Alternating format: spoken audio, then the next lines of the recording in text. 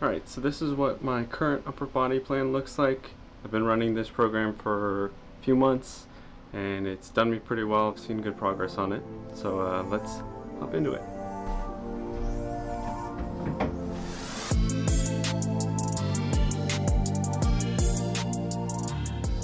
So the basic structure of this workout plan is going to be a horizontal pulling movement, a horizontal pushing movement, a vertical pulling movement, a vertical pushing movement, some accessory work for arms, and some core work as well. I do all of these exercises for two to three sets. This is due to me doing this workout plan every other day. I don't want to keep my sets too high because I need enough time to recover in between days that I'm resting. So my first exercise here are going to be front lever raises. The front lever is my number one goal right now, so I'm keeping this at the very beginning of my workout so I'm fresh while performing these exercises. I prefer to finish all my sets of one exercise before moving on to the next, rather than doing it in a circuit style, but in my opinion, you're going to make progress with either one.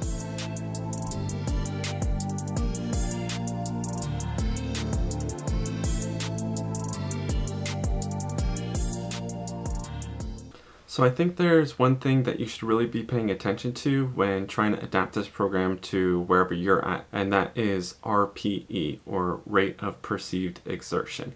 And this is basically how close you are to failure and how hard you feel like you're pushing yourself during a workout. When you're doing a workout plan every other day, you need to make sure that you're getting close to your limits, but still having enough time to recover in between sessions. If you push your RPE too high, you're going to end up underperforming on your next workout, probably end up in a fatigue cycle where you're just getting worse and worse. Now, If you want to learn more about RPE, there's a lot of great videos on YouTube to dive into more information on this, but you could just look at it from the standpoint of how hard was this set on a scale of 1 to 10, and that should get you pretty close. Alright, enough talking, back to the workout.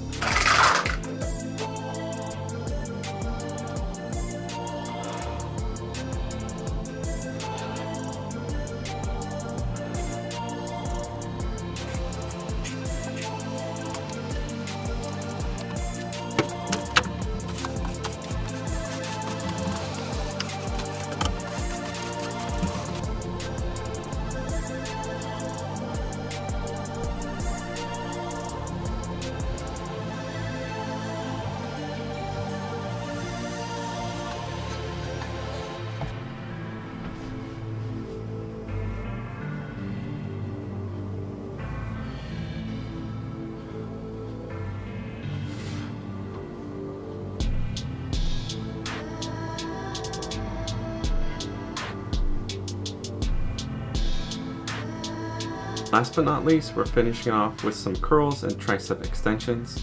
I do like to use weights and resistance bands on these exercises because it gives me a really good pump and it's not too fatiguing so I could take the reps really high. I don't feel like you need really high impact training for your arms, especially after doing some of these bigger compound movements. It's much better, in my opinion, to keep reps high with lower weight and make sure that you're staying away from any injuries. And that's basically it. That's the whole plan. Uh, like I said, I've been doing it for more than a few months. I sprained my left shoulder about three months ago, and now that I'm able to work out again, I've been doing this. Hoping to see some good results in my front lever. I just tested my one arm chin up the other day, um, and it's looking pretty good. Uh, not too far off, but not my main goal right now. I'm going to be testing my front lever in the next few weeks here and I'm hoping to have a pretty flat line, maybe one or two seconds of it.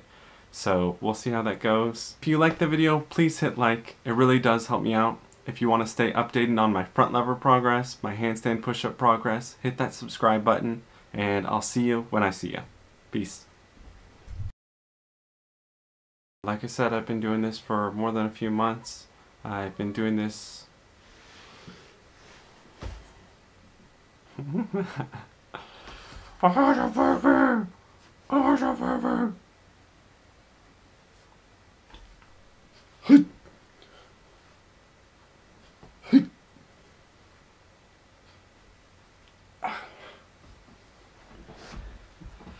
And that's basically it.